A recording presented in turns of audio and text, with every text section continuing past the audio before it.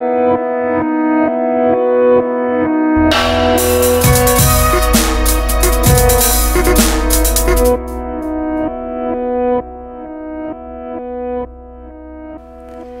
j'ai eu envie de partir en mobilité parce que j'en ai beaucoup entendu parler. Mes collègues disaient que c'était euh, vraiment une belle expérience, donc j'ai voulu savoir pourquoi c'était une belle expérience.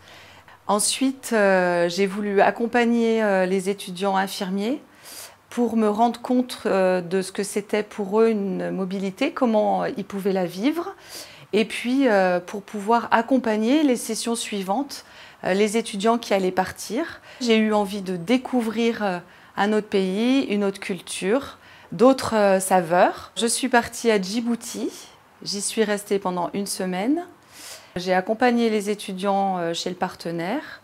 Je les ai aidés à s'installer euh, dans l'hébergement, donc il a fallu découvrir le partenaire, l'hébergement, l'hôpital, l'hôpital militaire. J'ai accompagné les étudiants le matin, quand ils allaient en stage, j'allais leur rendre visite. Et puis euh, j'ai échangé beaucoup avec le cadre supérieur euh, qui était là-bas sur place. J'ai aidé les étudiants à se positionner euh, en stage, savoir quels horaires ils allaient faire, sur quel service ils allaient aller. Ils étaient en stage tous les matins et quand ils revenaient de stage, je m'arrangeais pour être présente à l'hébergement pour pouvoir recueillir leurs témoignages de ce qu'ils avaient vécu le matin même. Et c'était très très riche dans les échanges parce que c'était à chaud et euh, du coup c'était euh, très très pertinent. Et euh, j'ai aussi profité bah, de tout ce qui est culturel, donc en visitant des lieux incontournables comme le lac Salé, les, belles plages, les marchés.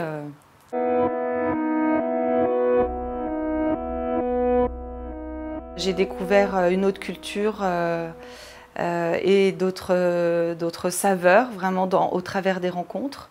J'ai pu tisser un lien avec les étudiants euh, qui était vraiment important.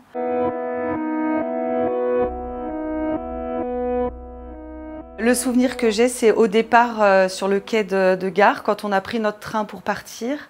Je leur ai dit de vivre pleinement leur mobilité et j'ai rajouté que tout ce qui se passerait à Djibouti resterait à Djibouti. Et à ce moment-là, les étudiants m'ont applaudi. Et au final, euh, ils m'ont fait une vraie place dans leur mobilité.